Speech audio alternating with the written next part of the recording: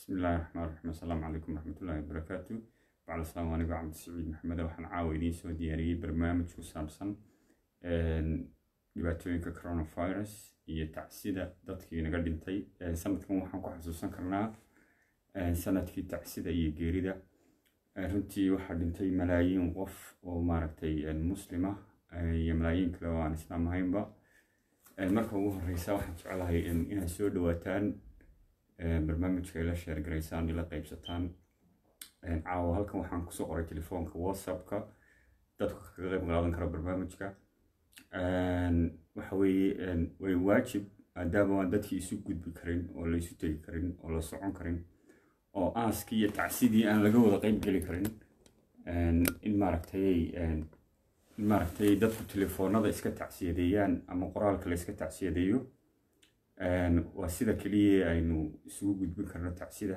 because meydkii lama raaci karo.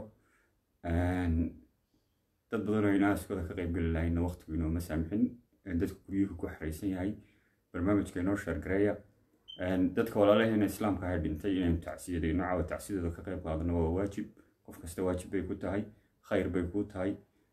Runtii inaynu halkan isku siino talooyin wixii ku saabsan coronavirus ku saabsan maadaama dhulkeenii laga soo sheegaya inuu xanuunkii gaadhay gaar ahaan somalilan oo la sheegayo kiisas cusub oo hargeysa iyo booramaba ah dad burco ku dhintay la sheegayo. Waxaan jeclaan lahaa whatsappka iga soo waca telefoonkayga ha iga soo wicina whatsappka ama telefoonka aan ku qoray lifeka dushiisa ayaad barnaamijka kaga qayb qaadan kartaa haddii aad jeceshahay inaad cid tacsiyadayso iyo haddii aad jeceshahay inaad fikirka ama talo ka jeediso coronavirus dhibaatada uu inagu hayo iyo ta uu inoo keeni karaba haddaynu nahay ummadda soomaaliyeed ama ummadda reer somalilandba runtii waxaan jecelahay in barnaamijka aynu caawa aynu talooyinka isku weydino. Because waxa weye guryahaynu fadhinaa especially dadkeena qurbaha jooga dadkeenii waxaynu talayo tusaale ku dhaanno inaynu u gudbino waa muhiim iyagana muhiim bay u tahay iyagana muhiim bay u tahay muhiim bay inoo tahay because waxa weye xanuunkaa ma qaadi karno haddii somaliland tago oo dadkeenii uu dhex galo ma qaadi karno runtii waa dhibaato aada u weyn oo dee aynan dhaqaalaheedii iyo awoodeedii iyo caafimaadkeedii iyo qalabkeedii haysan marka runtii adeer cabdilaahi axmed baa u dambeeyey maanta dadkii east london ama london ku dhintay runtii london soomaalidu aad bay ugu dhimatay geeridu aad bay u badan tahay beijkii aad facebook soo rogtaaba waa geeri runtii tacsi dadku intaa tacsi unbuu qorayaa horta may maqlaysaan war ma lay maqlayaa maqal ma jiraa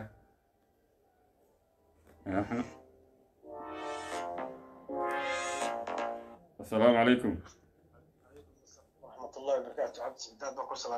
cabdiraxmaan waan ku maqlaya walal ma maqlaysaa alxamdulilah adiga laftigaaga waa lagu maqlaya dadku waa ku maqlayaan ma tacsi horta marka ugu horeysa tacsi ba ugu horeysa cabdiraxmaanow oo waa in tacsi dee dadkii cid yaad halka yaad ka tacsiyadeynaysaa wallahi horta anigu cidaan ka tacsiyaday garanaayo ma garanaysaa haye. Dadku waa fara badan yihiin. Haye. Laakiin de ummadda islaamka ee wada dhimat dhimatay the coronavirus ku dhimatay ayaanu tacsiyadeynaynaa sax. Ilaahayna waxaan ka baryaynaa inuu ilaahay naga dulqaado. Haye. Ilaah baa keenay. Haye ilaah baana awoodu leyna naga dulqaado sax. Ilaahay waxaan ka baryaynaa inuu ilaahay naga dulqaado amiin. Intii dhimatana ilaahay uu naxariisto amiin. Ya muslimiinta intii muslimka dhimatana ilaahay u naxariisto amiin. Intii kale xanuunsanaysan ilaahay caafiyo. Gaal iyo muslimba amiin. Ya marka wallahi hawsha waa adag tahay. Maxaad tala soo jeedinaysaa dadkii waddankeenii joogay iyo dhibaatada imaka bahalkan xawaaraha uu ku soconayo sida uu dadka u waxyeeleynayo sida uu caafimaadka dadka wax u yeelayo dhaqaalaha si wax u yeelayo maxaad talo dadkeeni u soo jeedin lahayd? Wallahi horta bahalkan waxaan ku leeyahay hawshiisi waa adag tahay. Haye. Iminka inagu london maanu joognaa haye. London waxa ka dhacay waad arkaysaa. Haye. Maanta ugu dambaysa toddoba boqol iyo xooga waa dhintay. Oga. Waxa weeyaan bahalka waxaa laga badbaadi karaa in aad distance dadka macnaheed in la kala fogaado inaan la farxasho. In guriga la joogo meelaha socialkeeda faraha badan mid lagu qaylo ama waqaaxyaha oo dhan la yaraysto. Mhm. Dadka maaragtay de isku imaatinka iyo guri kala wareeg iyo wax kale iyo qof la kulan iyo waxaasoo dhanba oo waxyaalaha lagu kala qaado. Marka anigu waxaan lehay qof kastaba lafiisa ha ilaaliyo. Baalkana sida ku filan waxa weeye waa symbol waa si easy waa la ogyahay waa oo waxaa yara duulaya amba kaa gelaya amba afka kaa gelaya. Mhm. Amba taabanayso lucunayso may fahamtid marka waxa wallaahi xaaladda way adag tahay in qof kastaaba lafihiisa ilaaliyo ayaa qurux badan. Ka waran eh, dadkan odhanaya duray bay haye soomaalidan iswada salaamayse qofki ka duray bay haye deedna la isqaabsinaya xanuunkii. Ama adigoo qofkii kuleba xanuunkii bay haye buu kuleeyahy waan ilaahay baa wax keenay waxba kaa qaadi maaye nasalaano aan waxba maqlayn. Cabdi siciidow anugu waa shaqaynayay Mhm. airportkan ka shaqaynayay sax shaqadaydii yaana waxbay siin amba waxay siin amba yaanay siin sagaal iyo tobankii bisha bishii hore imika maarajayna dhaaftay gurigeygii saan u galay sax shoobin yaroo aan soo qaata mooyaane wallahi baana ka bixin hadda may sax markan mata loka xaafadan aan deganay markan wax ka doonanayo kale. Waxaan arkayay soomaali kuraas ku fadhido oo dhinaca dhinac isku wada saartay sax. Oo wada fadhida. Sax. Waxaan arkay gu- guuri ay sh- ay ku jireen soolaley Mhm. uu nin kaga dhacay. Sax. Ninkii dhakhtarka loo qaaday. Sax. Markaa dadkaa guriga ku jira inay kala tiimo galaan soo maaha absolutely kuwii suuqa jooga. Mhm. Oo dadkii la taaganba ayaa laysoo sheegay. Marka waxaad moodaa niyo dadkeena soomaaliyeed inay iyagu isqaatiinayaan babahalka oo dhagaadagii inay iyagu isqaatiinayaan baan moodaa. Waa cabdiraxmaan aad baad u mahadsan tahay. Bal dadka kale charles baan siinaynaa tacsidaada iyo taladaada waad ku mahadsan tahay. Aad baan ku salaamaya inaga ilaahay inaga badbaadiyo insha allah. Calaykum. Asalaam waraxmatullahi wabarakaatu waxaan filayaa cabdiraxmaan waa arkaysay waa nin reer londona aniguna london baan joogaa east london joognaa Eh, runtii eh, xanuunkan coronavirus gaal islaam male cid kastuu ku dhacaya. Eh, waana xanuun halisa oo dilaaya oo khatar badan. Eh, runtii qofka uu ku dhacaa eh, runtii eh, halis badan buu gaadhayaa Eh, qofka nakhaska qabanaya qufac badan buu leeyahay xumad badan buu leeyahay dhidid badan buu leeyahay. Waa astaamaha caanka uu ku yahay coronavirus. Laakiinse haddana waxaa jirta inuu yahay xanuunku dabeecado kala duwan uu leeyahay oo qofba uu si ugu dhacayo marka horta marka ugu horeysa waxaan kaa dardaaraya haddaad duray aragto this time ama xilligan haddaad duray aragto 99 percent wuxuu u dhoweeyey isagii. Marka horta marka ugu horeysa inaad istartiibiso oo maaragtay aad dadka kale iska ururiso ayaa muhiima oo aad dadkana ka ilaaliso familigaagana ka ilaaliso. Eh, runtii eh, dadkeenu waa dad isjecel oo inta badan isa salaamo ama laabta iskeliya ama maaragtay hag isa siiya ama wax wada cuna. Eh, runtii waxaan idin odhan lahaa een, adduunyada halkaa way soo dhaaftay. Adduunyada halkaa way soo dhaaftay. Haddaad walaalkaa jeceshahay ama hooyadaa jeceshahay ama aad aabahaa jeceshahay ha salaamin ha u dhowaanin because waxa weye cudurkan wuxuu halis ku yahay marka ugu horeysa dadka waaweyn iyo dadka xanuunada khaaska haysta. Marka waxa weye horta marka ugu horeysa inaad kuwa ka digtoonaato ka fogaato ilaaliso caafimaadkooda socodka yaraysid wax maqashid fadhiisatid goobaha la isugu tegayo ee dadku isugu tegaya aad iska yaraysid gaadiidka public transportka ama gaadiidka basaska kale ama tagaasidoo kale waxyaabaha aanad raacin weliba especially dadka afrika joogay wadankii joogaan la hadlaya waxa idiin caafimaad badan inaad lugaysaan. Because waxa weye dhulkeennu waxba isuma jiro ma kala foga. Runtii waxa kuu caafimaad badan. Baskaa ma ogid in qof coronavirus qabaa uu saaran yahay iyo kale marka runtii waxa weeye inaad horta ayaandarada ugu weyni waa qaadka maanta adigoo halkaa joogo afrika jooga inaad qaad ka qaado coronavirus maanta waxaa la sheegayay qof wadankii jooga in laga helayo oo aan dibadda ka iman marka xanuunku wuu joogaa xanuunku wuu yimi qof baa keenay labaa keenay saddex baa keenay afar baa keenay shan baa keenay Een, horta waxaa yaandara dadka dhoofay ee yaacay ee wadankii qabtay xanuunkii qaaday xanuunku muu lugayno wadankii ma tegine.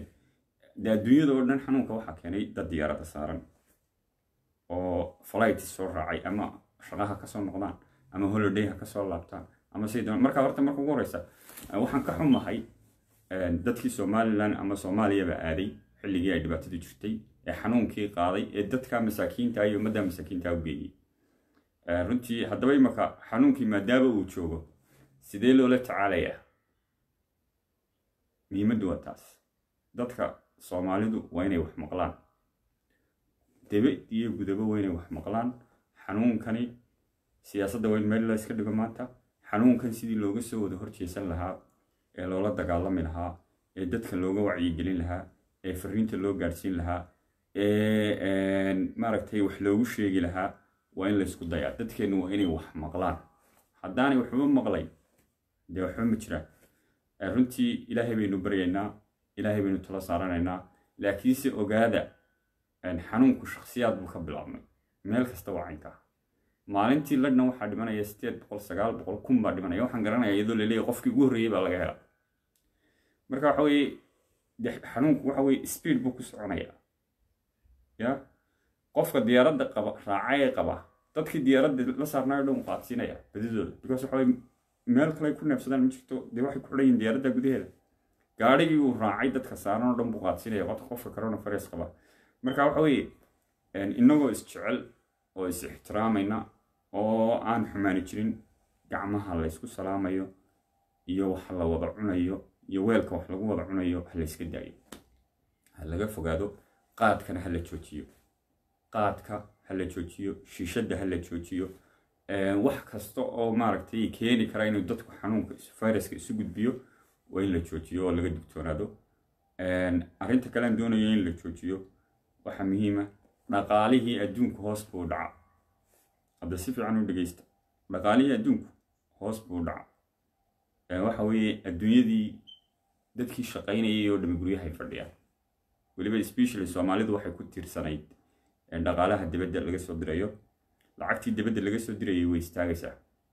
Waxay u istaagaysaa dadkii halkan wax ka dirayay shaqaynayay shaqadii ma tegayaan dee lacagna ma helayaan. Marka runtii dadkii afrika joogay waddankii joogay waxaan leeyahay waar isku tashada oo waxaa haysataan biyobiyeysta oo qunyar tashiishada oo qaadka iska daaya oo sigaarka iska daaya oo muqaxyaha aad intaad tagtaan shaah ka cabaysaan waxaa kaaga khayr run inaad gurigaaga koob shaah iska gactid marka runtii dowladdana waxaan odhan lahaa specially dowladda reer somaliland waxaan odhan lahaa iyo madaxweynaheeda war dadkani waad arkaysa inuu iyo africa dadka burbaa lala dhacayo lagu xaraynaya dadku waxba ma maqlayaan waa in ciidamada dadka lagu soo daayo. Adduunyadao dhan ciidan baa suuqa la geliyey. Blace haba noqoto ama military ha noqotee somaliland waa inay awooddeeda ciidan adeegsato waa in dadka la dhangadeeyo haddii ay xidhan waayaan. Waa in la garaaco oo dhagaha laga garaaco. Because waxa weeye waxaa lala dagaalamayaa wax ka weyn isoo qabo ma jirtay calow whatsappka dee soo wac whatsappka aan xagga sare ku qoray. Haddaad doonaysaan inaad barnaamijka ka qayb qaadataan telefoon whatsapp baan xagga sare idinku soo qoray. Haddii kalena numberku waxa weeye o seven four one two four six three three seven five. Aan mar kale idinku celiyo telefoonku waxa weeye o seven four one two four six waa ciddii uk joogta. Haddii kalena qofku wuxuu ka bilaabmayaa wuxuu ka bilaabmayaa four four buu ka bilaabmayaa zero four four waad garanaysaan. Telefoonku gacanteyda ku jiraa haddaad whatsappka iga soo wacday haddaad telefoonka iga soo wacdo waan kaa qabanayaa facebook waa laga mamnuucay waa la joojiyey soo qabo. Wax soo qabo lahadaa ma jirto. Runtii yaa tacsi diraya yaa talahaya yaa telefoonka soo wacaya de maxaa la soo ilka waaweyntiin ya waxa weeye dadkiini adface bay u baahan yihiin. Haddaan imika reer buufin lahaa ama cid kala buufin lahaa telefoonka waa soo wada qabsan lahayde inowda laakiinse waxa wanaagsan inaynu isu sheegno oo dadkeennii wacyi gelino oo u digno oo wixii aan tala iyo tusaale siin karayno siino oo dadkii naga dhintay tacsiyadino maxaa ku xun? Kulligan guryahaynu wada fadhinaa qof shaqaynaya ma jiro dadka booran baa wada haya cidaa la iska wada fadhiyaa marka walaalkaagii ama walaashaadii ama eedadaadii ama adeerkaagii ama awowgaagii dhintay ee aad tacsidiisii ka qaybgeli kari weyday inaad halkan ka tacsiyadayso waa janis runtii waxaan odhan lahaa dee dadka aynu tacsida u dirno wixii tale iyo tusaale aynu hayno aynu siino. Telefoonkaa laynaga soo wacay. Waxaan filayaa cali kiise kabadhe?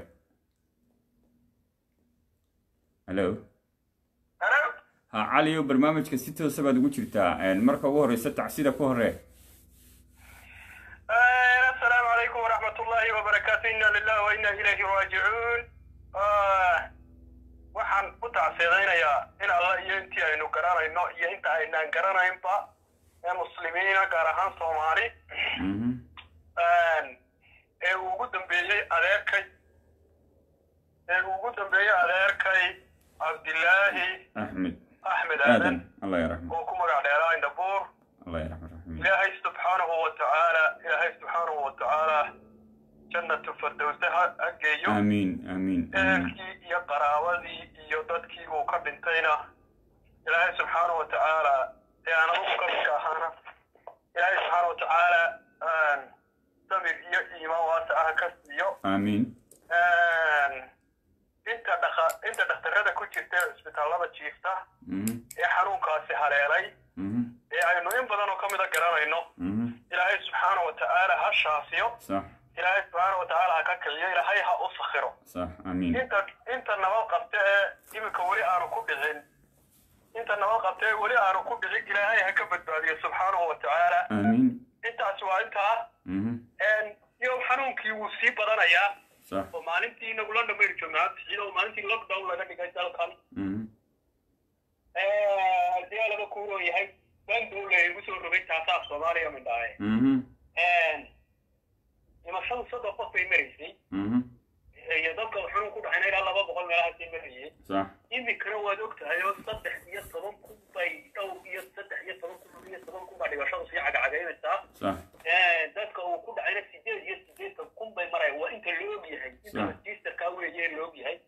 Waxaa laga yaabaa inuu million ku dhacay baa dhici karta. Mhm, war dadkii soomaalida ahaa ee dalkan joogay xanuunkii farabaan buu ku hayaa. Mhm, taasina waa madax adayg waa madax adayg soomaalidu leedahay. Mhm. waa madax adayg madax adayg jahliya oo waalan oo yani la yaab leh oo suuqa ay iska marayaan oo ilaa iyo haddana la sheegayo meherado hoosta ka furan oo hoostooda dugmad lagu ciyaaro oo la isugu imanayo oo laga qosliyo ilaa iminka la sheegayo. Mhm, marka dadka soomaalidu mhm, war dadka soomaalida oo ilaahiina ka cabsano naftiidina ha haliyiina. Ehelkiina iyo asxaabtiina guryaha jooga iyo dadka waaweyn ee xanuunkan u nugul ee aan iska xijin karayna xanuunka ha u geynina waa ilaahay ka baqo oo guryaha laydinku yidhi jooga. Oo lacag baa laydin siinaya. Kii shaqadii kii shaqaysanaya lacagtaadii baa qaadanaysaa gurigaad joogaysaa gurigaaga joog. Mhm, kii kale aan shaqaysanayna awalba benefit qaadan jira oo gurigaaga iska joog. Oo benefitkaagii dee guriga la dhex hooska war dadka naftiina badbaadiya war ilaahay baa idinku leh subxaanahu wa tacaala haddii allaba kuuroo yahay isbadbaadiya khuduu xidrakum khuduu xidrakum war digtoonidiina qaato gurigiina jooga Een, marka ilaahay ka baqo subxaanahu wa tacaala gurigiina jooga oo dadkiina waaweyn iyo dadkiina yaryarba badbaadiya intaasi waa intaa dalkeennii somalilan ee barakaysnaa jamhuuriyaddeenii barakaysnayd xaalku maxaad ku talinaysaa in ciidamada la soo saaro oo la soo daayo oo dadka la garaaco suuqa laga eriyo sidii ka dhacday afrika iyo eshiyaba oo dowladdu ay awood isticmaasho miyaanay ahayn.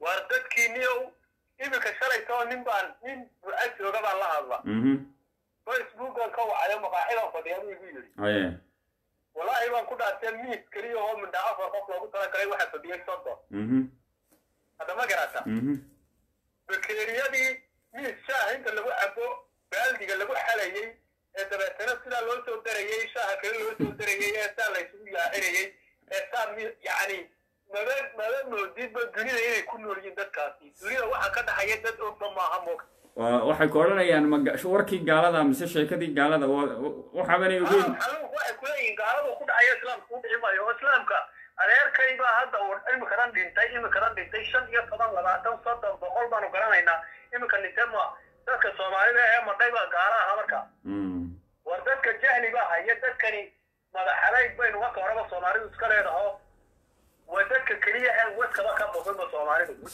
Ummadaha kale haddii lagu leeyahay wadkii waa ka halkaa soo socdaa Mhm. waxaa laga yaabaa inay yaacaan laakiin soomaalida haddii leeyahay wadkii halkaa waa ka soo socda. Mhm. qaar baa odhanaya oo ka soo xaraaraysanayna mariya Mm. Ugu dambayntii Yeah. cali kayse ugu dambayntii een, waxaan ku weydiinayaa dhaqaalaha adduunku waynagii shaqaynaynay dee lacagta badan diraynay ee dalku aada inoogu tiirsanaa waynagan fadhiisanay dadka boqolkiiba toddobaatan shaqooyinkii way beeleen dhaqaalihii wuu istaagay lacagtii way iska keen taagtay. Xawaaladaha laftigoodii lacagtii waa la qaadi kari waayo diyaaradii ba istaagay. Dadkeennii weli wuu qayilayaa maxaad kula talin lahayd ee xagga cudurka? Dadkeenu waa bahadsantee qodobka ugu muhiimsani waxa weeye lacagtii qaadka somalilan ka baxaysay ee haad karansiga ahayd ee doolarka ahayd ee rabadhada ku xidhnayd ee etoobiya tegaysaynu caleenta siisanaynay weli way socotaa. Dadkeeniina way baktiyayaan weligoodna sidaasay ahayd. Imikana xaaladii meel weliba way istaagtay. Reer damba biil qaadanaya ma jiro xawaaladihiibaa lacagtii geli karaan xitaa. Intan haddii qof saysinka waxoogaa yar ugu jiray oo uu islaaha dadkaadii ku badbaadi ama waalidkaadii carruurtaadii ku badbaadi xawaaladihiibaaba xidhmaya sidaad sheegayso marka waxa weeye dadka dalkii jooga dadka dalkii jooga iyo dowladda iyo dadka iliidka ee waxgaradka ah ee ummadda horsocda waa inay bulshada la hadlaan oo yidhi halka labaatan dollar haystow labaatan casho isku fillaysi oo ka boqol dollar haystow faamigaaga iyo inta ehelkaaga ku fillaysi sidii hore wax ka bedela sidii hore in wax laga bedelo sidii hore in wax laga bedelo weeyo qaadka qofka qayili jiray iyo lacagta uu ku qayinayo sidii uu bariis iyo caana iyo haruur iyo wixii uu si naftiisa ku saafgarayn lahaa ilan qaadku necessary maahe waayahay ummadda ku noolaan lahayd sidii loo siisan lahaa waa in lagu talagalaa Cali- dowladdu maanta waxay tiri qaadka lama joojin karo war waa la joojin karaa qaadka dadka laftigoodu inay iska joojiyaan caliow dadka laftigoodu ila caqlay leeyihiin xaaladii adduunku s o s s o s halkii ugu dambeysay bay garaacaysaa. Dhaqaalihii waa gon ummadani dowlad bay doorato dowlad bay leedahay dowladdu waxa muhiima intay tagto oo baxdo oo dadka xadka jooga u tagto oo somaliland dhex marto oo magaalooyinka waaweyn la hadasho oo baabuur mikrofonna saarto inay tilaaha qaadka iska daayo oo culimada adeegsato oo dadka la dhegaysanaya adeegsato qaadka iska daaya naftiina seefgareeya dunidu si ay noqon doonto war looma hayo laakiin dowladdiina inta iskala soo taagan kura qaadka lama joojin karo. Wata hersi waayahay cali kayse kabare aad baad u mahadsantahay. Dadka kalena bal haddii ay dee jecel yihiin inay hadlaan jaanis baynu siinaynaa ilaahay ha ku barakeeyo. Dadka intii dhimatayna allah u naxariisto aad baan kuu salaamaynaa. Waad mahadsan tahay ducadaada iyo tacsidaada iyo taladaadaaba habeen wanaagsan baan ku leenahay. Runtii waxaan jecelahay barnaamijka marka ugu horeysa inaan idinku celiyo. Horta barnaamijka inoo sheergareeya. Kow waxa khayrka ah waa la sheergareeyaa dadkeennii baynu tacsiyadaynaynaa la talinaynaa wax u sheegaynaa toosinaynaa. Haddii aad jeceshay barnaamijka isoo qabo ma jirto. Facebook isoo qabo way ka dhammaatay. Facebook waxaa ka jira imika whatsapp baan xagga sare idinku soo qoray ama telefoon baan idinku soo qoray. Telefoonka waan idinku celinayaa. Waxa weeye haddaad u k joogto waa o seven four one two four six three three seven five nambarkaasaad soo wici kartaa aan idinku celiyo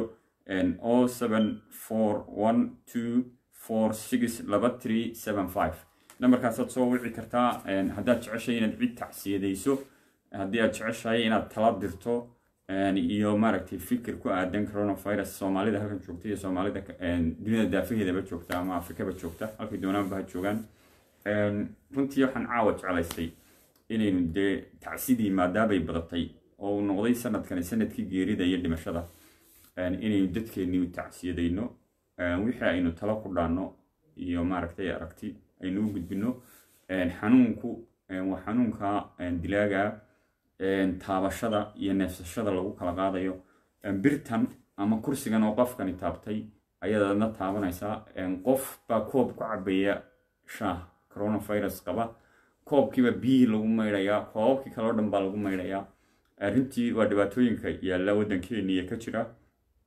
Runtii xaaladdu meel xun bay gaadhaysaa haddii xanuunku sidaa u sii fido oo la xakameyn waayo hadda.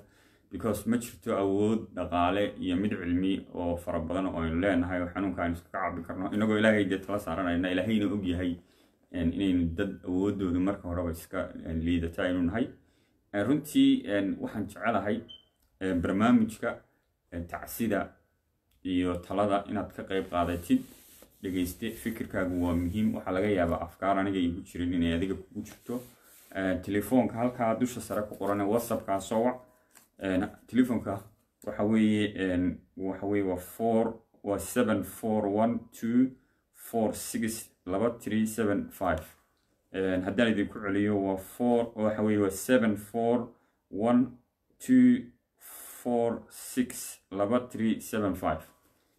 Telefonkaasaad soo wici kartaa waan idin salaamayaa dhammaantiin. Asalaamu calaykum waraxmatullahi wabarakaatu soo dhawaada kulligiin barnaamijka inoo sheergareeya taladiinaan u baahannahay ducadiinaan u baahannahay hadalkiinaan u baahannahay dadkii inaad la hadashaan baa loo baahan yahay. Wixii waxaan telefonka laynaga soo wacay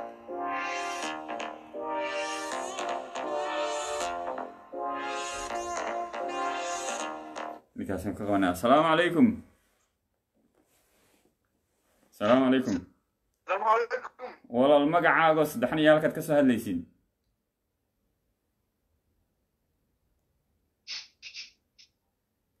asalaamu calaykum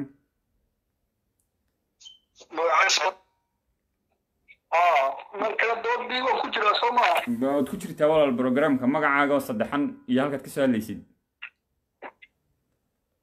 magacaygu waa cabdiraxmaan waxaan ka soo hadlayaa walaalo london baan ka soo hadlaya maasha allah cabdiraxmaan marka gaar ahaana xaafadda xaafadda hays baan ka soo hadlaya hays maasha allah cabdiyow halkan yaad ka marka ugu horreysa tacsida dadka soomaaliyeed iyo dadka islaamkaa dhintay tacsida ugu horreysa horta. Dhammaan dadka muslimiinta dhintay horta waan u tacsadaynayaa ilaahay waa naxariisto gaar ahaana soomaalida faraha badan ee london ku dhimatay galbeed iyo bariba aad baan u tacsiyanayaa rag badan aan garanayana way ku jireen. Dhammaantood waan u tacsiyadaynayaa dumar iyo rag baa intii naga dhimatay soomaali guud ahaan. Aamiin aamiin aamiin marka runtii horta xanuunkani dee waad og tahay oo dunidii farabaas buu ku haya gaar ahaana waddankan aan ku noolnahay ingiriiskana dee maalin walba dad badan baa dhimanaya guud ahaan. Tiradana waad aragto toddoba boqol sideed boqol ilaa sagaal boqol way gaadhaa runtii xanuunkani dee saameyn badanna wuu nagu leeyahay dadkeenna ku nool waddankan. Oo hadday noqoto dhinacii shaqooyinka iyo dadkii shaqaynaya iyo dhinacii kale magaranaysaaba caafimaadkii qof walba uu baqanayaba. Marka runtii waxaan odhan lahaa dadka halkan jooga ilaali ha is ilaaliyaan guryahooda ha joogaan dadka laga maarmaarmaanka shaqooyinka laga maarmaanka u baxa mooyaane inta kale guryahooda ha joogaan ha kala fogaadaan. Taasi waa tii guud ee mar walba laga hadlayey ta waddankii haddaan ka hadlo iyo somaliland runtii dee waynu ognahay oo waynu la soconaayo waddankii qaadkii wuu iska socdaa diyaaradihii way iska socdeen mid ka midu way socotay. Dadkana waa tan dee maka xaaladda dee stagekan uu marayaana uu yahay bilow oo dee dadku dhimanayaan dadku waxaan jeedaa uu soo baxay xanuunkiyo dee ilaa imika saddex qof la shaaciyey iyo labadii hore shan qof baa la shaaciyey. Waxaan leeyahay halkaa haynoogu joojiyo runtii waddanku dee dhinac caafimaad fiican ma laha oo dee xaaladiisa waa la socotaa oo oxygen bay dee xanuunkani u baahan yahay. Badankiisa oo dadka neeftiiba ku dhegayso dee waa waad ogtay khatarta uu leeyahay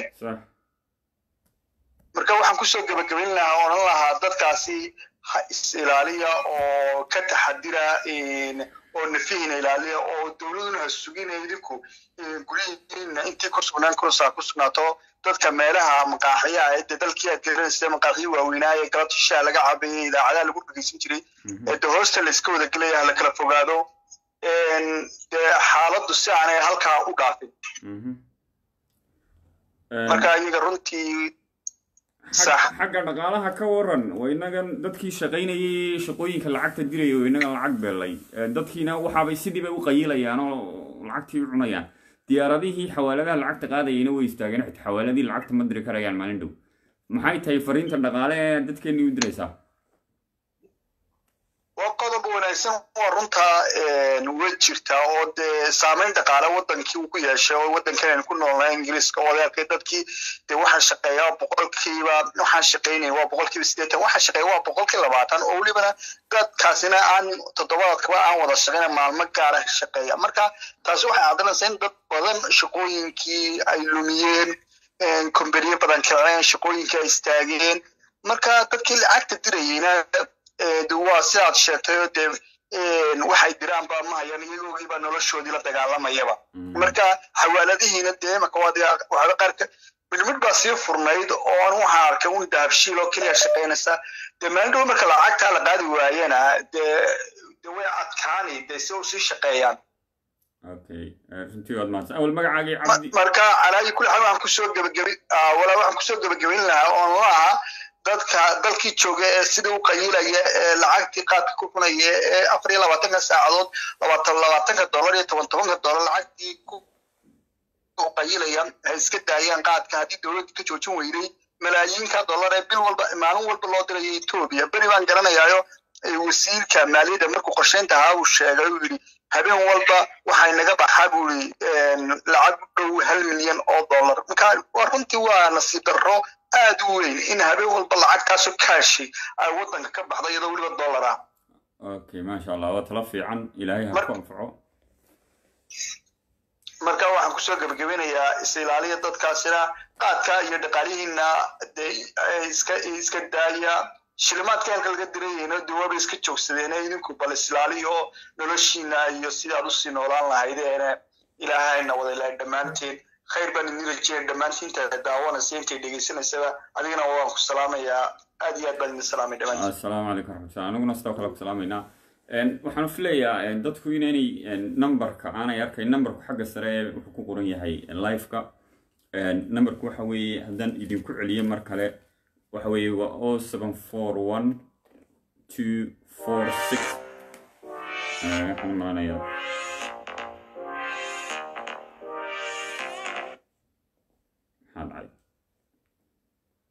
baa soo garaacay haddana wuu go runtii waxaan jecelahay waxa weeye telefoonku waa oo dee xaggaad soo garaacaysaa? Asalaamu calaykum ha asalaamu calaykum walaal magacaago saddexan iyo halkaad ka soo hadlayso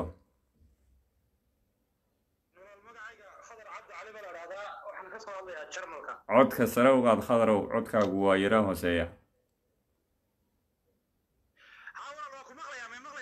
Waa ku maqlayaa khadarow waad ku jirtaa waad ku jirtaa barnaamijka tacsiba ugu horeysa marka ugu horeysa dadka islaamka ina tacsi u dirto kadib talooyinkaaga iyo iyo wixii kale kuxigay waa ka wada hadlaynaa marka hore waa salaamaya dadka meesha ku jira. Marka labaad ina allah wa ina raajicuun guud ahaan dadka islaamka gaar ahaana dadka soomaalida ah ee uu xanuunkaas galaastay waan u tacsiyeynayaa waxaan leeyahay ilaahay naxariistii jannaha ka waraabiyo. Naxariistaas dadka muslimkaa loo baryayo gaar ahaan dadka soomaalida ayaa ka qayb qaadanaya aniguna naxariista ilaahay baan u weydiinayaa. Dadka muslimkaa gaar ahaan dadka soomaalida ee ku nafweeya xanuunka. Sidoo kale waxaan caafimaad ilaahay u weydiinayaa dadka xanuunka la dhibanaya la jiifa imika inuu ilaahay ka kiciyo oo weydiinaya aamiin aamiin aamiin aamiin marka xigta maxaad talo u diraysaa dadka soomaalida talooyinkii iyo maaragtay dardaaranadii adduunku jeedinayay dhegaysan le xanuunku runtii aada u saameeyey horta walaal xanuunkani waa aafo adduunyada oo dhan ku faafay awood layskaga qaban karo oo maanta jirtaana ma jirto oo aanta ilaahay oo laga hoos gala aan ahayn dadka soomaalida ku nool geeska africa guud ahaan waxaan baan kula talin lahaa inay dee guryahooda joogto inta aan awoodina ay is ilaaliso. Inta badan dadku waxay ku celceliyaan dadka waddankii jooga amba somaliland amba soomaaliya amba jabuuti amba dowlad deegaanka soomaalida etoobiya dadka soomaalida ee geeska africa ku nool waxay ku celceliyaan dadka qurbaha jooga inay guryahooda joogaan laakiin waxaa jira dadaan guryahooda joogi karin oo inay gaajo u dhintaan inay xanuun u dhintaan ay isugu mid tahay. Marka lama odhan karo dadka guryihiina jooga sida kuwa qurbahoo kale. Dadkaasi kuwa awoodaana guryahooda joogaan kuwa aan awoodina ay ay ay dabcan is ilaaliyaan Oh.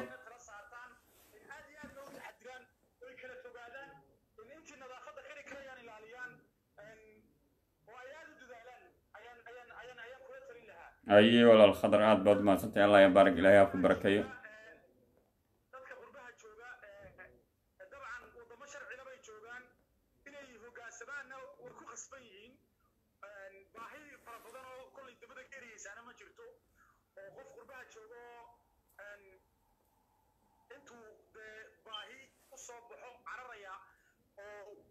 istaagaya ama meel wax ku iibinaya ma jirto at qofku markuu xanuunku waddanku joogo aad u bato ilagaa gurigaaga joog dowladdu waxbay qoondaynaysaa wixii uu cuni lahaa uu ku noolaan lahaana wuu helayaa. Markaas waa inay dadka qurbaha jooga soomaalidii sidooda oo kale aanay dadkii geeska afrika joogay aanay ka soo qaadina waa inay si kale oo oo dadkaasna ay wax u gelayaan duruuftoodana ay la dareemayaan waa inay u fakiraan oo ah inaanay odhan un annagu guryaha ku jirnaayo waa siseefgaraynaye idinkuna guryaha ku jira. Inaynay odhan un xanuunka waxaa lagaga badbaadayaa guryaho lagu lagu xidhnaado. Waxaa jira dad aan awoodi karayn waxaa jira dad meelo danyara ku jira oo buulal amba jingiro degan oo laga yaabo inay laba faamili oo duruufta isu keentay ay konton qof yihiinba sax marka waa in dadka lagula taliyo oo qofka weliba dadka qurbaha jooga ay kula taliyaan inay dadkaas inay kala fogaadaan inay nadaafadda intay heli karayaan ku dadaalaan inay siday isu baxnaanin karayaan isu baxnaaniyaan waayahay walaal khadar. Dadka kalena chance baynu siinaynaa allah ya baarik waxaan u malaynayaa telefonka lagu soo galay. Runtii waxaan u malaynayaa yacquub may maqlaysaa? Haa walaal si life baad ugu jirtaa. Maxaad tacsi tacsida horta ugu horeysa ku soo dhawow programka? Codka sare u yara qaad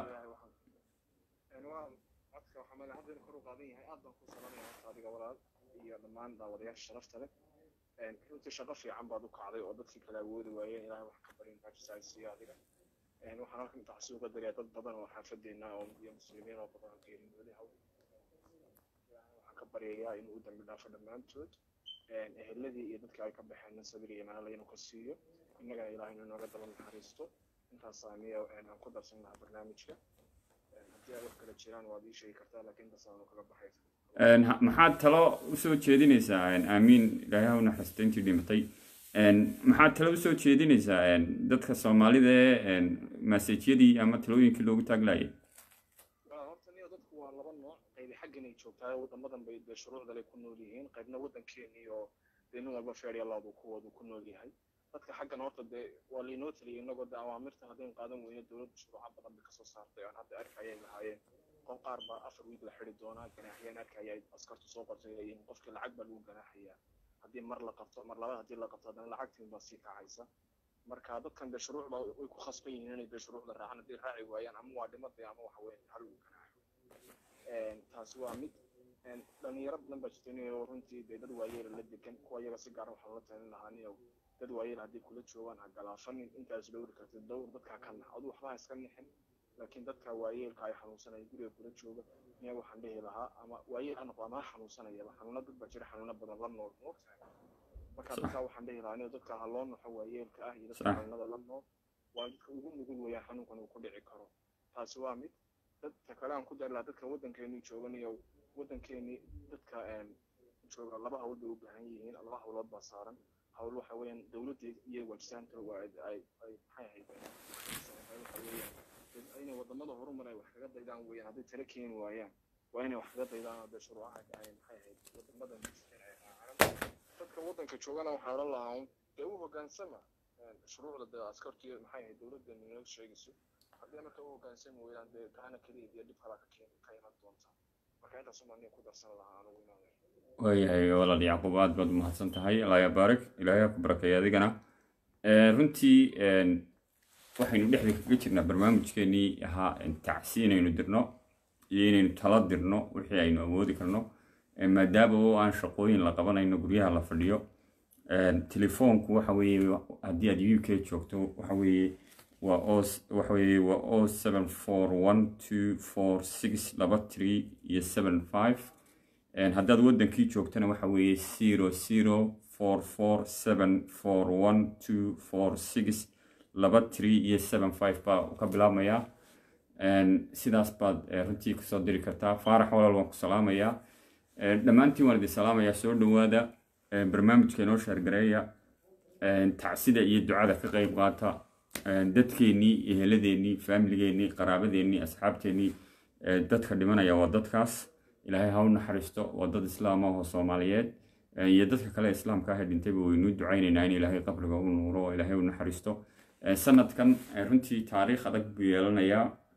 Wuxuu noqonayaa sannadkii ugu geerida badnaa ugu tacsida badnaa ugu naxdinta iyo argagaxa badnaa.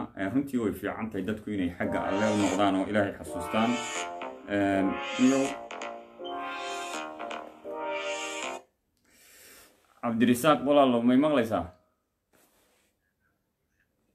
waniyo telefoonka codkii baa ka qaabtay waan la yaabanahay wax dhacay. May maqlaysaa walaal barnaamijka si live baad ugu jirtaa. Maxaad tacsi horta tacsida ugu horeysa dadka islaamka dhintay inaad tacsiyadayso oo ducaysid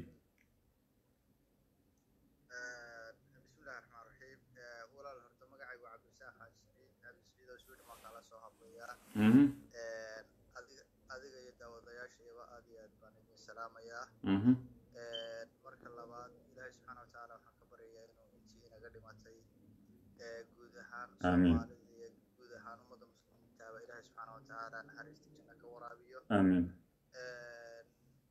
innagana kuwa wax ku qaata oo maaragtay ilaahay subxaana watacaala waa masiibo weyn sida ay wax u socdaan oo ilaahay subxaana watacaala awoodiisii iyo maaragtay dunida maanta xaaladda aynu ka weynu aragnay kuwa subxaana watacaala inaga dhigo. Amiin waa tacsiyadaynayaa intii ku dhimatay. Inta ku xanuunsana ilaahay subxaana watacaala waxaan u baryayaa inuu caafimaad sareecana siiyo. Amiin qodobka tacsida intaasaan kaga baxaya maadaama waqtigu yaryahay cabdirasaaq talo maxaad diraysaa dadka soomaalida ee qurbaha jooga iyo kuwa waddankii jira maxaad kula talin lahayd walqayniyow qodobka koowaad waxaan soomaalida qurbaha joogta runtii waxaan kula talin lahaa kolley talooyinka caafimaadka iyo de qofku sida maanta uu u noolaanayo nafaha kaleba ugu badbaadinayo laga wada siman yahay oo meel kastoo la joogo dunida ama somaliland ama qurbaha la joogay tala isku mid abaa laga bixinayaa sidii lagaga hortegi lahaa dhibaatadan maanta dee xanuunka jira. Waxse aad moodaa inay soomaalida ay u dheer tahay walow ay imika aad moodo inay xoogaa markii dee dhimashadii farabadatay in dareenkii uu siyaaday haddana waxase aad moodaa in la dhayalsaday oo dadkii dareen ay kiiba aanay maaragtay iyagu aad moodo inay ballanqaad gaara ay haystaan. Marka waxaynu aan kula talin lahaa in la xoojiyo marka hore barnaamijkan aad waddo oo kale si uu dee ay xaaladdu u noqoto mid mar walba dhagaha dadka ku dhacda.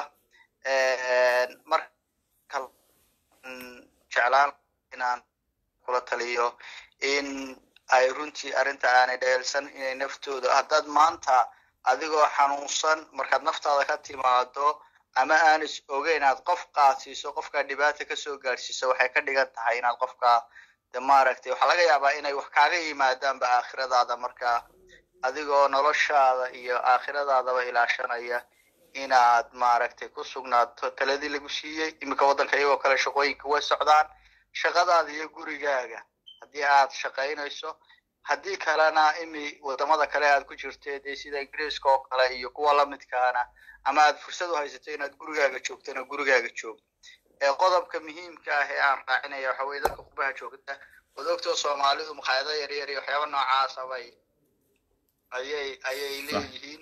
waxa dhacda markii ay laga xidhay intay hoosta ka soo xidheen inay hoosta jumlad ku ciyaarayaan. Subxaan allah oo si ama guryihii isugu tageen oo toban toban iyo labaatan labaatan iyo shan iyo toban guryihii isugu tageen waa dhibaato. Waa arrin dhibaato ah oo aad iyo aad iyo aad weyn. Marka arrinta in laga diglo toonaado weeye. Gudihii runtii waddankeena gudihiisii waxaan jeclaan lahaa hal qodob inaan horta aada u xoojiyo oo maanta wasiirka wasaarintu warfaafinta uu ka hadlayay qodobka qaadka Mhm. waxaan is leeyahay qaadka maalin dhaweyta waxaa ka hadlayay laba nin ganacsatadii qaadka soo dejin jirtay qaar ka mida waa dhegeysanaya runtii si fiican oo qiimo badan bay maray guddida la kulmeen ugu hadlayeen Mhm.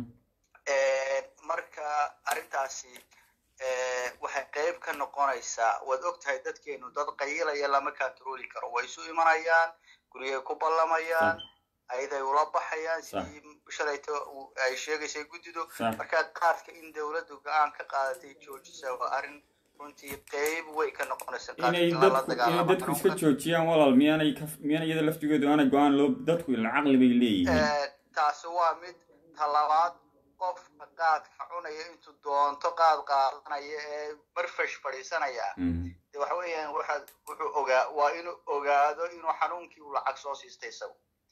Intuu lacag soo siistay uu soo iibsaday inuu bulshadii kalena gaarsiin gurigiisiina caawa kula xagga noqday dhaqaalaha ka waran oo innagan boqolkiiba lacagtaynu diri jirnay lixdan baa lagu qiyaasaa qorbajoog oo innagan shaqa beelle dadka guryaha fadhiistay. Qodo- qodobkaasina waa kaa qodobka dhaqaalaha waxaan is leeyahay runtii arrintaas aad iyo aad bay u samaynaysa iminka waddamada qaar sida jarmalka oo kale waxaa la sheegay already inaan xawaaladii waxa u dirayn boode lacagtii yarayd ay qaadi jireen laga qaadi jiray ay diri jireen laga qaadi jiray. Already way istaagtayba Sax. marka arrintaasi saameyn weyn bay yeelanaysaa. Dadkii gudihiina weli may may dhug yeelan. Horta marka ugu horeysa waa inaynu inagu u sheegnaa. Aynu dadka ku wargelinaa inay xaaladaasi jirto.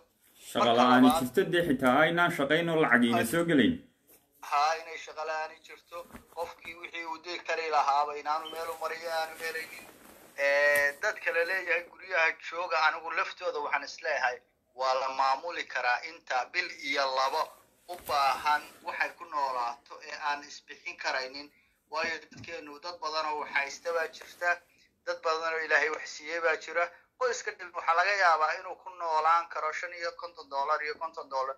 Saddex maxaa la idhahdaa haafo raashina inuu ku noolaan karo ila waxa weeye quutal daruuri baa loo baahan yahay. Marka arrintaa haddii dowladda la isku gergab taago oo waxa weeyaan dadku kacaan oo la iscaawiyo guryaha waa la joogi karaa bil iyo lababa sidaan anigu is leeyahay marka intaasaan idinkala qayb qaadan karaa aad iyo aadna u mahadsantihin aad baad mahadsantahay walaal cabdirasaaq kaasi. Wuxuu ahaa cabdirasaaq oo inaga soo wacayay sweden. Eh, telefoonka haddaan mar kale idinku celiyo waxa weeye waa o seven waxa weeye waa o seven four one two four six laba three iyo seven five. Haddaan mar kale telefoonka idinku celiyo waxa weeye o seven four one two four six laba three seven five. Haddaad ka baxsan tahay u k waxaad soo garaaci kartaa zero zero four four seven four one two four six three three seven five. Mar kale aan idinku celiyo haddaad u k ka baxsan tahay waxaad soo garaaci kartaa zero zero four four seven four one two four six three three seven five السلام عليكم السلام عليكم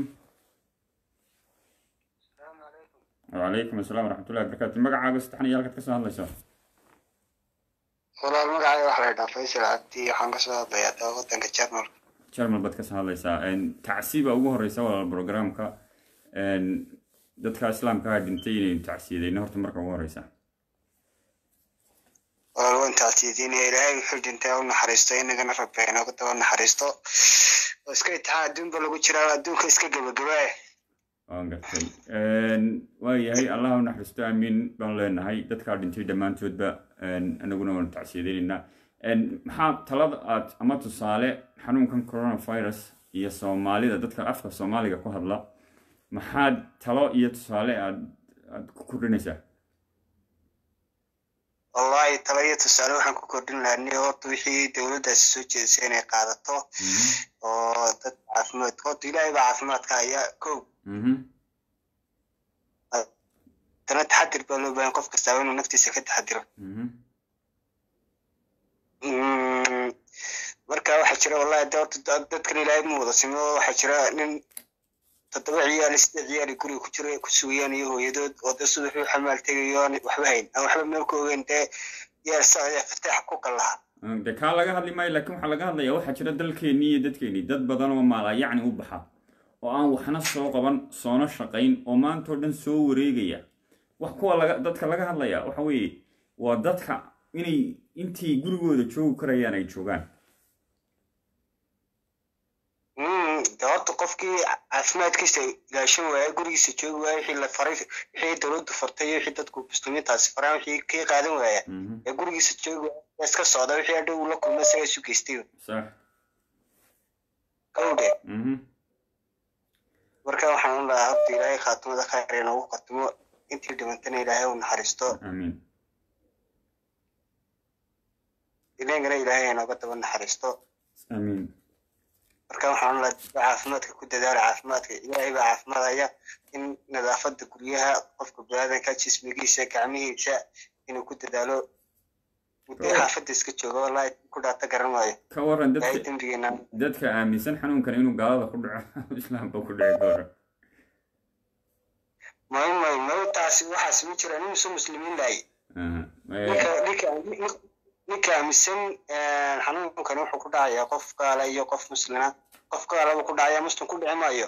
Waa waxaan dhacanaa xanuunkan muslim iyo ma kala garanayo. Kii ilaahay ku duwayin baa dhimanaya kow dhe mhm. Sax. marka waxaan lahaa dadka guryihiin iska jooga intii dee dan yare aan waxba haysan waxba karayna intii ilaahay wuxu dhiibay. Mhm. ha caawiyaan Ah, insha allah. Amiin. Een, aad baad u mahadsan. Magacaaga magacayga faysal baa la yidhaha walaal faysal aad baad mahadsantahay. Waxaan malaya jarmalkaad ka soo hadlaysaa. Aad baan kugu mahadnaqaynaa in- inaad barnaamijka nagala qayb qaadatay Een, habeen wanaagsan. Runtii kaasina wuxuu ahaa faysal oo inaga soo wacaya jarmalka aye telefoon waxayna soo galay een, wadankiya asalaamu calaykum asalaamu calaykum magacaago saddexan. Magacaago saddexan. Magacaago saddexan cabdirisaaq oo xaggaad ka soo hadlaysaa soomaaliya. Ka xaggee? Muqdisho. Muqdishoad ka soo hadlaysaa. Een, marka ugu horeysa programka waad la socotay. Tacsi baa horta ugu horeysa in dadka islaamka ah ee dhintay la tacsiyadeeyo. Maxaad kaga qayb qaadanaysaa? Intii dhimata allah u naxariisto inta noolna ilaahay ha u naxariisto. Adduunyadana dhibka haysto wixii dhiban ilaahay ha u fududeeyo. Aamiin aamiin ilaahay ha naxariisto intii dhimatay maxaa talo iyo tusaale dadka soomaalida ee dhagaha adag le dhegeysan leh talooyinkii iyo xanuunkan halistiisa? Maxaad talo iyo tusaale u soo jeedin lahay? Maxaad se su'aal haddaad su'aal qabto maxaad su'aal qabtaa walaa horta waxaan su'aal qabaa aniga dadka horta muqdisho gaar ahaan muqdisho anda jooga aan ka warramaya dadka qaar horta si qarsoodi uu ku soo galaa ilaahay naga qabta kaas Mhm. maadaama midda kalena maareerayihii furan yihiin basaska blka laisla raacaya midda ugu koobaad boo cudurka si degdeg uga kala qaadi karo waa blka Mhm. gaadiidka dadweynaha gaadiidka dadweynaha waa labaatan qof baa gaari basta wada fuulayso Mhm. waa labaatanna way ka degaysaa labaatanna way sii fuulaysaa. Marka in lala inay guryaha iska joogaan dadka aan waxyaabo necessary u baxayn ama aan duruufo adag dabada ka riixayn inay guryahooda iska joogaan oo socodka yareeyaan. Qofkii lugeyn karayaa qofkii lugeyn karayaa inuu lugeeyo oo lug isku dayo. Ah. waa garta. Arrintaas aniga baska maaragtay blka koleyba dad badan oo ku nool yihiin basaska blka laakiinse inaa dadka hayeeda arrintaas hayeeday bogaadiyo aad baana hayeeday ugu dadaalaya okay. Garabkuna waxaa in arrintaas la siiyo waaye maadada koowaad wax burxanuunada badihii waa badda waa la xiray diyaaradihii waa la xiray midda kaleeto xeerihii iyo meelihii meeradaha xiray masaajidadii waa la xiray. Oo wax guri marka ugu dhaata laba kun oo gaari ee maalinta shaqaynayso umadiina waxay hayday boqol qof qof maalinkii ugu yaraatay halkii gaari ay furayso ka tegaysa ay furayso Mm. waa anagu lagu kala qaadi karaa runtii waa talo fiican Een, degmooyinkiina u kala gudbayaan degmooyinkiina waa wada gaaraya markaas marka dadka waxaynu kula talinaynaa inay socodka yareeyaan gaadiidka raacitaankiisa uu halis badan buu leeyahay in safarka la yareeyo haddaan haddaanu muhiim ahayn guryaha la joogo ilaahay la tala saarto Een, muqaaxiyaha shaaha laga cabayay iyo waxyaabaha la wada cunayana la iska daayo waa ku salaamaynaa allah ya baarak waan ku soo ducaynaynaa. Dadka kalena barnaamijka qayb baan ka siinaynaa. Dee waa allah allaha ku barakeeyo. Laftirkaygana waxaa nin baaxaya gaarka qabo. Baan ahay laftirkayga oo oo naafe ah qarankana u naafooday soomaaliya. Maasha allah ilaahay ilaahay ha kuu sahlo. Waa kuusoo ducaynaynaa in ilaahay uu kuu boogadhayo naafada iyo nabaradaada. Dadkeenana ilaahay inuu dhibaatada ka saaro insha allah aamin aamin aamin insha allah dhammaanteen aamin insha allah waa salaamayna asalaamu calaykum daawadayaal marka ugu horeysa programka waxaad kaga qayb qaadan kartaa whatsappka ama telefoonka hadba adigu halkaad joogto. Waxaan malaya nambaray soo garaacayay intii imika whatsappka uu ku jiray. Ninkii odayga xamar ka soo hadlayay. Telefoonka haddaad doonaysid inaad soo dirtid waxa weeye waa sir soo gel marmar baana arkayn qofka asalaamu calaykum telefoonkaa soo dhacaya waan ku soo celinaya. Asalaamu calaykum ha asalaamu calaykum walaal magacaaga. Qof baa dheen mara ka soo hadlaya. Barnaamijka life daabanaya bal hadda in yarisu waxaan u sheegayaa daawadaha dheen mara ka soo hadlaya telefoonka soo diraya. Programka waan kaa qabanaya laakiin marka markaan lagu jirin baa fiican inaad soo garaacdid haye magacaaga walaalo saddexan iyo halkaad ka soo hadlaysa u k baad ka soo hadlaysaa waan filaya u k baa ka soo hadlayaa sambal cabdifitaax siciid maxamed waa ku salaamayaa master khalid soo dhawow tacsiba ugu horeysa tacsi ku bilow programka. Ina allah wa inaa raajicuun. Horta dee tacsida waa diraynaa ilaahay ha u naxariisto ummadda muslimka. Ku geeriyootay xanuunkan halista ee dunidaydii aafiyey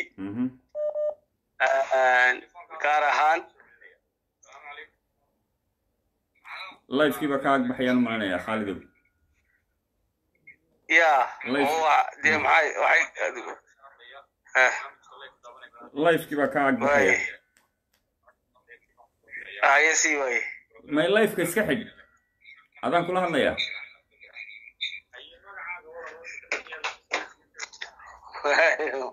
Waar may maqlaysaa?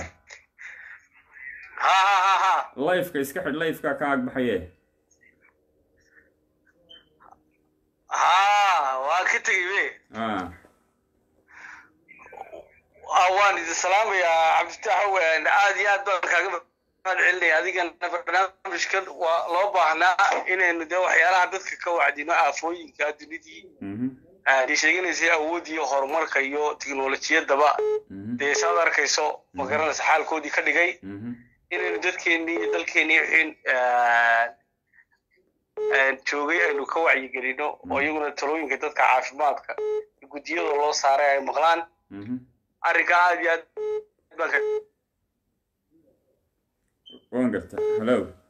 Kaaga mahad celinaya. Sax waa arrin loo baahnaa bay ahayd.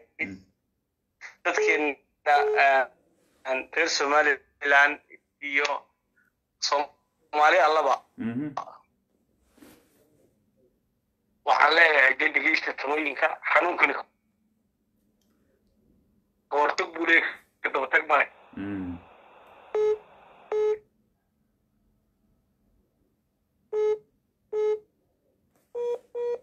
hello? Hello? Hello?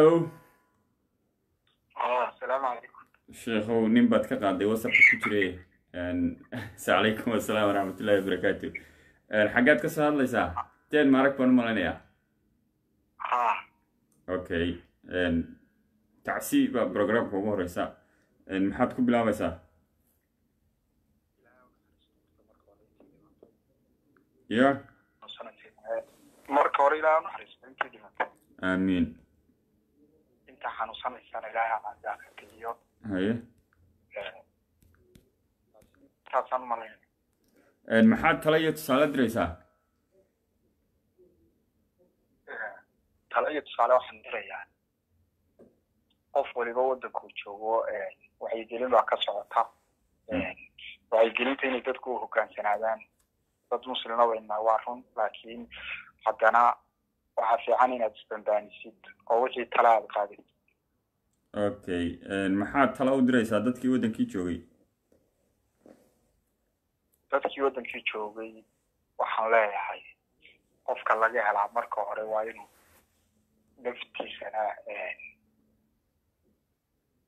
aanu is odhan waa waa lagu takooraya laakiin waa inuu hadduu isaga cudurkii ku dhaco haleelay wax ilaahay ugu talagalay. Isagoo qadirta ilaahay aan marna dhaafayn oo aaminsan inaanu dadka kale la sheer garayn cudurka inuu sheego inuu iskarantiimeeyo haddii uu maxay xaalad adag aanu ku jirin inuu isagu dadka iska karantiimeeyo oo u sheego ceeb maaha cudurku ilaahay baa keena ilaahay baana qaadi karaa laakiin waxa ceeba ama maxay dembi kaaga imanaya inaad dad kale gaadhsiiso waad mahadsan tahay weeye maxamed ah. Maxamed aad baad mahadsan tahay maxamed axmed dheer marag baad ka soo hadlaysaa waanu kuu ducaynaynaa baad umahadsan tahay aniguna waan idiin soo ducaynaya sidaas kale aamiin kaasina wuxuu ahaa maxamed oo dheer marag ka soo hadlayay mararka qaar waxaa dhacda adigoo whatsappka qof ku jiro in telephone line soo galo marka telefoonka lineka ahi wuxuu ka qaadayaa qofkii ku jiray whatsappka marka fadlan programka haddaad daawanaysid marka qof hadlayo waxa wanaagsan inaad sugtid si qofkaasi markuu dhamaysto aad hawada u soo geshid haddii uu khadku kaa go'ay ama telefoonka kaa xumaaday waad ku soo celin kartaa. Telefoonkaad iga soo wici kartaa ama whatsappka hadba saa adigu jeceshahay. Fikirkaaga khaalid waxaan malanayaa khaalid isagoo whatsappka ka hadlaya ayaa qofkii ugu dambeeyey buu ahaa. Waxaan malaynayaa marka runtii waxaan jecelahay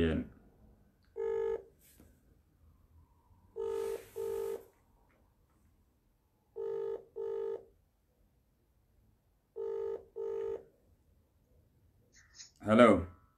Salaamu calaykum calaykum asalaam khaalidow telefon line baa soo nin baa kaa qaaday maxamed layihahde maxaad talo maxaad dadkeenii u diri lahayd waddankii joogay ugu dambeyntii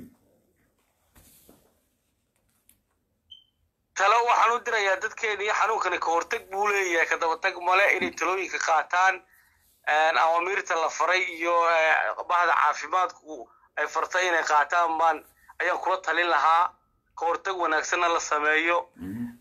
Dhulkuna waa barwaaqe dadka waxay miyi tegayaana ay miyi tagaan. Waxaan intaa ku dari lahaayo aad cabdi fataaxow dee noo horseeday innaga lafteenu dadkeenu jaaliyadeena dabadda ku dhaqan. Waar dee niyo inteena noole ka badbaaday xanuunkaasi kaalintii ayaynu arrinkaa ka qaadan karnaa.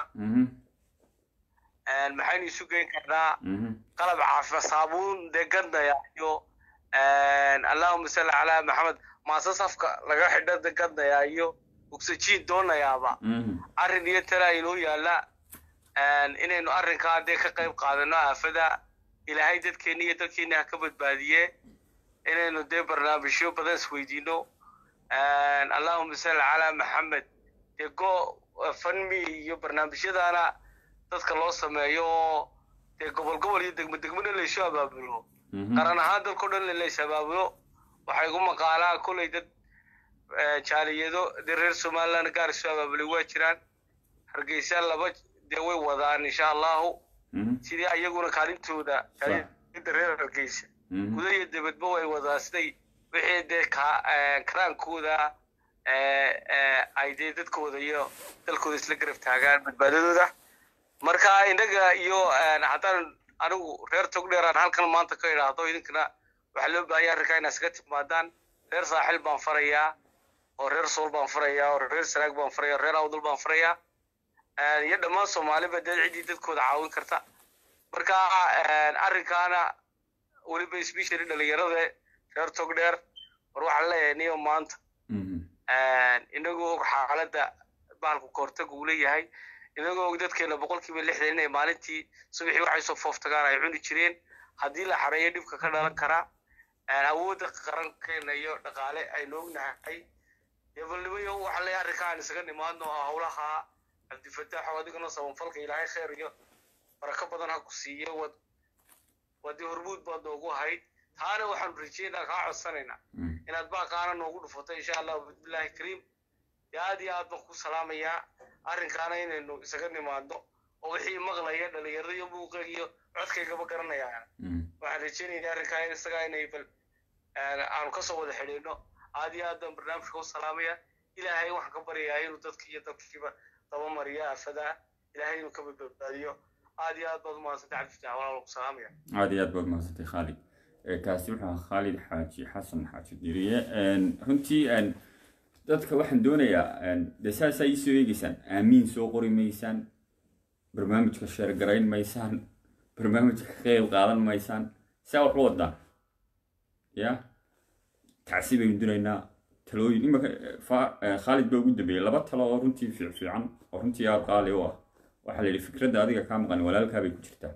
Laba talo fiican oo dadka inay wixii miyi tegi karaya miyi tagaan. Good idea.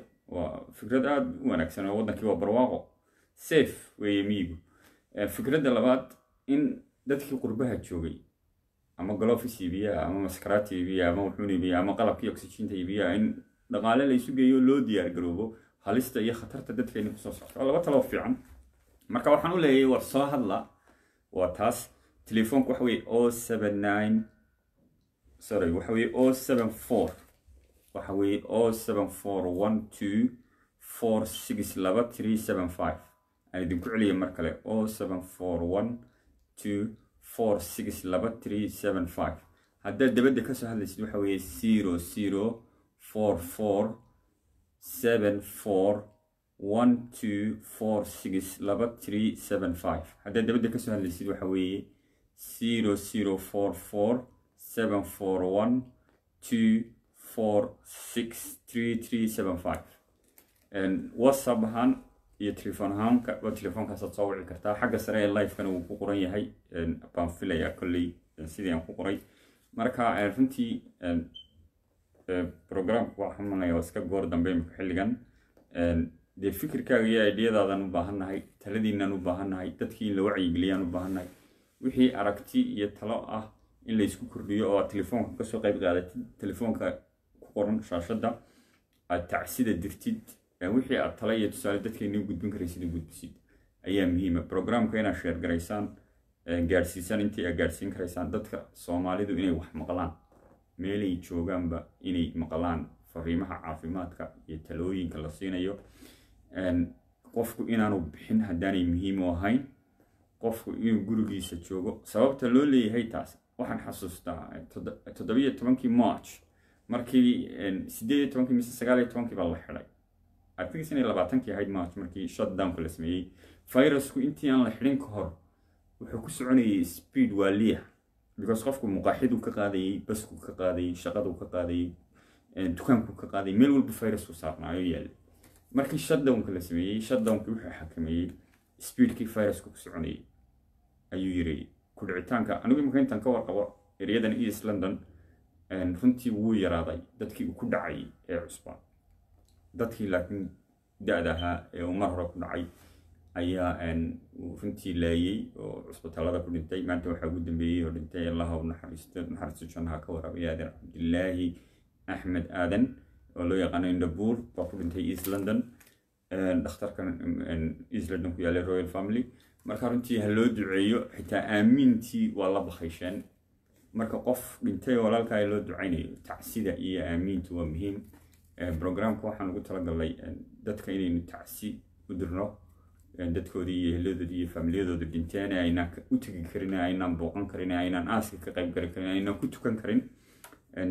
Marka xigta inaynu dadkeeni iyo ehelkeeni talooyin u gudbino inay inagu laftigeenu isweydiino maxaan qaban karnaa? Runtii dadku waxay jecel yihiin barnaamijyada aan ku salaysnayn khayrka iyo wanaagga. Marka waa iska adduunyadu waxay garaacaysaa saacatul qiyaama waxaa laga yaabaa imika haddaynu reer buufin lahayn ama cid lahayn inuu programku cirkaa tegi lahaa waan hubaa. Runtii waxaa kugu waajiba qof walba qoyskaagii la hadashaya ayaa sheegtaya saaxiibkaa la hadashaya ayaa sheegtaya t v tagtaya ka hadashaya facebookaaga wax ku qortaya ka hadashaya waxaa muhiima inaad fariin dirtid. Xaaladdu waxa weeye adduunyadii meel adag bay maraysaa xanuunkiina dadkii wuu gaadhay warbixintii maanta hargeysa laga sii daayey waxaa ka mid ahayd in qof waddanka joogo aan dabadba ka iman xanuunkii laga helay. Qof hargeysa gudaheeda joogo aan dabadba ka iman ayaa xanuunkii laga helay. Marka hadaad meynis dadkaa laga helay ee somalilan jooga xanuunka laga helay. Dad badan bay xanuunka qaateen telefoonka la galay. Asalaamu calaykum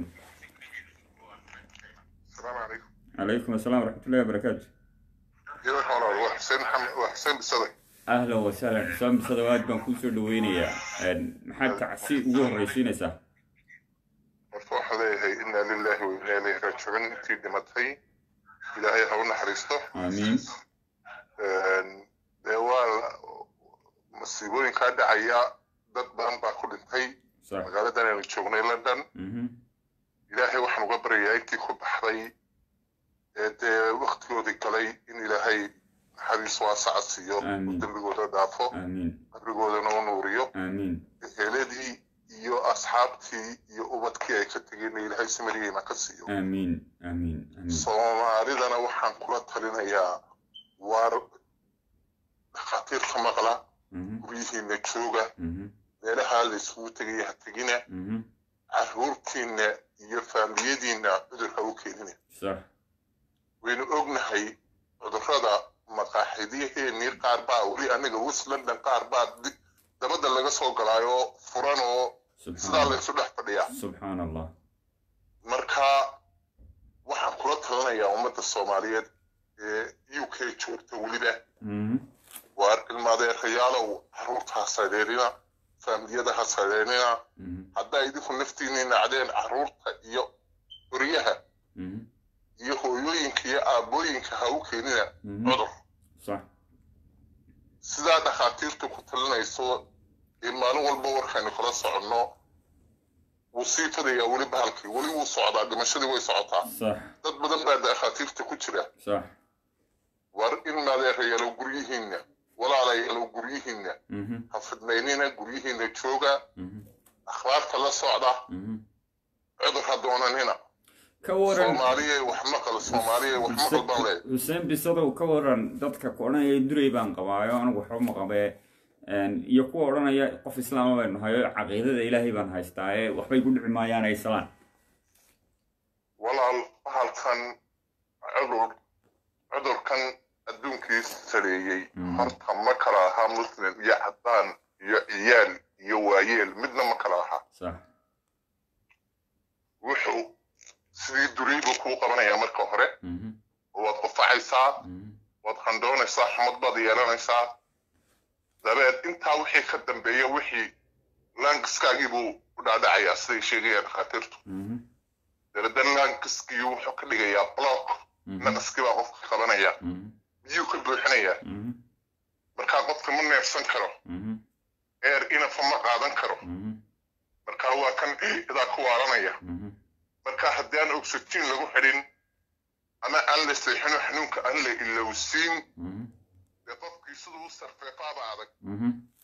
Mar hadduu sanbabada u dhaadhaco oo uu biyo ku furana qofku siduu uga kacbaaba adag marka dadka durayga bahalku waa duray marka hore mhm. oo sidii duray buu kuu qabanaya laakiin ha sahashanin. Mhm. Haddaad calaamadaha aad isku aragto stay your home xuseenow xuseen xuseen bisad maanta saddex qof baa la sheegay somalilan weliba waxa la sheegay qof somalilan oo aan dibadda ka iman in laga helay. Dadkii dadkii waxay aaminsan yihiin xanuunkii coronavirus in aanu soo gaadhin oo aanu joogin.